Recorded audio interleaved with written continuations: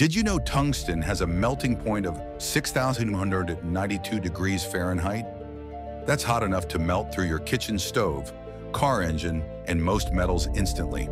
Here are five things you didn't know about this insane material. First, the tiny wire in your light bulb operates at temperatures that would vaporize steel.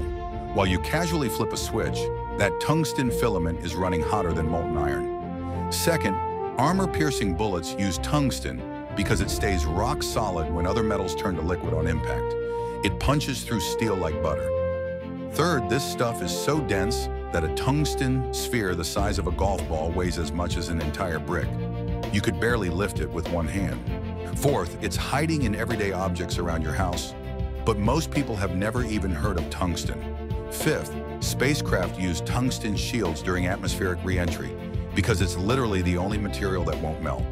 That innocent light bulb wire is operating at temperatures that could melt most of your house.